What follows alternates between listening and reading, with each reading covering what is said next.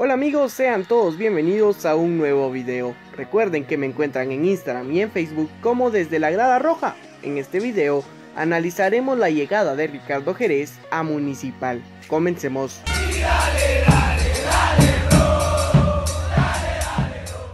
Ricardo Antonio Jerez Figueroa es un portero guatemalteco nacido el 4 de febrero de 1986 en la ciudad de Guatemala.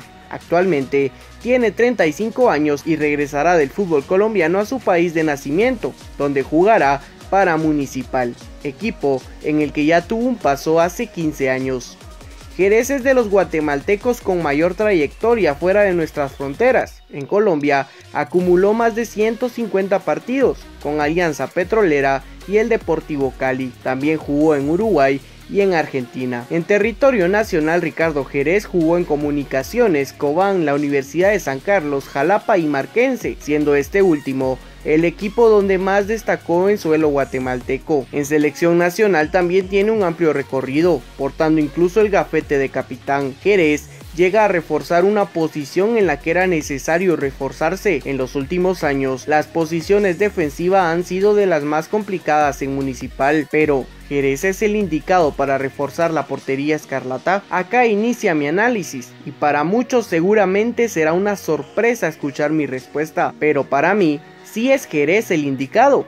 Antes de que me recuerden la infinidad de veces que dije que no me parecía un buen portero, les voy a explicar por qué creo que él es el indicado para resguardar la portería escarlata. La razón más lógica que yo le veo a la venida de Ricardo Jerez a Municipal es que se estaba desperdiciando la posibilidad de traer un refuerzo extranjero para otra posición, teniendo a Rafael García, el uruguayo que en el último torneo fue suplente de Kenderson Navarro. Entonces, se trae a Jerez que nos guste o no, es un portero de experiencia y sobre todo es guatemalteco, por lo que la casilla de extranjero queda libre y se puede usar para traer un extranjero en otra posición de la cancha donde se necesite, además de que puede ser de ayuda para Kenderson que aún le falta mucho para ser el titular indiscutible en Municipal. Otra razón positiva del fichaje de Jerez es que ha rendido en los equipos donde ha jugado, yo siempre dije que en selección nos costó una Copa Uncaf y lo sostengo. Sin embargo, la afición de la Alianza Petrolera lo adora. Muestra de ello son todos los comentarios que le dejaron en las redes sociales del club colombiano. Entonces,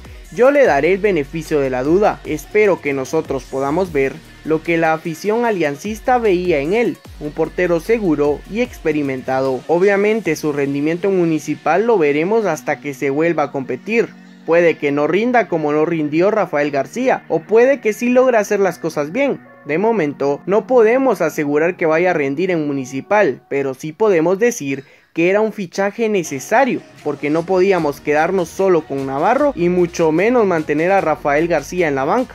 Sé que habrán muchos que están en contra de la venida de Jerez, y es válido, en su momento yo también lo estuve, es de conocimiento público que es un portero que no me gusta en lo absoluto, pero analizándolo fríamente y pensando en el bienestar del equipo, pude concluir en que no hay otro portero guatemalteco que me hubiese gustado ver en Municipal.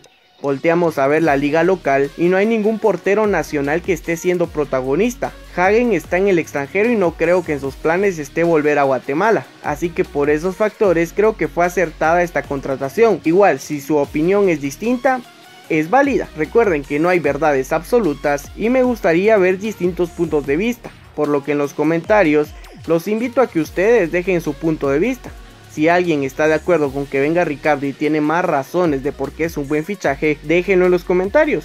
Ahí es el espacio para que debatamos. De mi parte, Solo puedo desearle éxitos a Jerez y exigirle un buen rendimiento como a todos los demás de la plantilla escarlata. Con esto me despido invitándolos como siempre a que se suscriban si es que aún no lo están, ya que activen la campanita de notificaciones. Mis redes sociales están en la cajita de descripción. Nos vemos en un próximo video. Adiós.